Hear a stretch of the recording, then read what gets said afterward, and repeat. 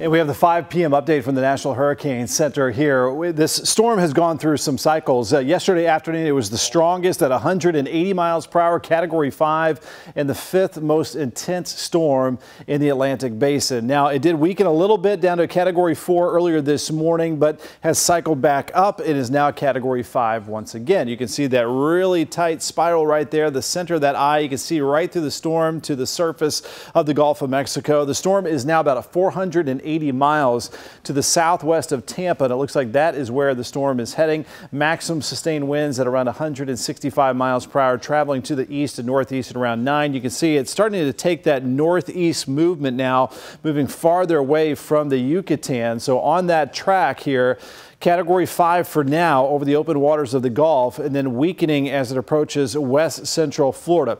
Even though I say weakening, though, still a major and dangerous hurricane as it will be lashing the west central coast just north of Fort Myers between there and Tampa late tomorrow night into early Thursday morning. This is around 1 to 2 a.m. There are going to be thousands, if not millions, of power outages, coastal flooding up and down the west central coastline. And then as the storm moves over central Florida, still possibly holding on to category three strength near Orlando. We're talking lots of power outages over central Florida and then the storm moves off the east coast as we head to around midday on Thursday.